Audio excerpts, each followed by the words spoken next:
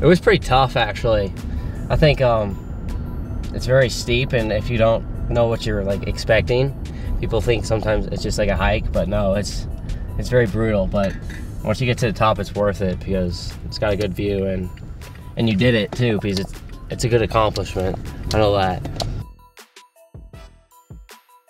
Because there's just so many cool rocks that like you can't see anywhere besides like that's probably the only place you could see them unless like you go I don't know yeah they're so rare like the formations like the kissing camels and then the um, there's a rock that like balances on The balances balancing rocks, the balancing yeah. rocks Yeah. yeah.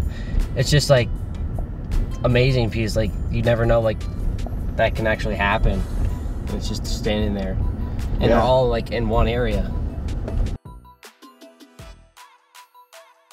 Yes, my uh, my dad lived lived there for eight years when he um, wrestled. He went to Sydney as an alternate, but he lived there for eight years and trained um, wrestling. And yeah, um, and also my um, my little brother, my older brother, I mean, he swam. He we've always done sports there, and there's there's practicing, and we usually go there a lot sometimes, but we go there a lot just to even look at it. And sometimes there's pro athletes, like Olympic athletes there. Yeah, I was gonna say, do you ever see do you ever see any cool My um, athletes coming through? my um, older brother actually, when he was prac- when he was swimming at the time, he um, he was swimming, to practicing. He, he was uh, laying right next to Katie Ledecky. A lot of my friends and my mom's friends have said it's really cool and just you can spend multiple hours in there just looking at history and how good people are at their sport.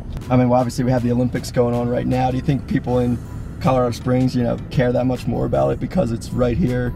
Those facilities are like right here. Yeah, somewhere? I think I think it's going to attract a lot more people because, I mean, it's just Colorado's becoming the state where, like, oh wow, the Olympic Train Center's there, and now there's the Olympic Museum, and people are going to be like, that's one of the reasons why people might want to go to Colorado Springs instead of Denver, Yeah. which is pretty cool. I think it's pretty interesting cool.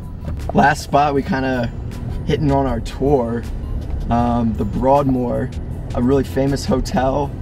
Um, they've got a golf course there too.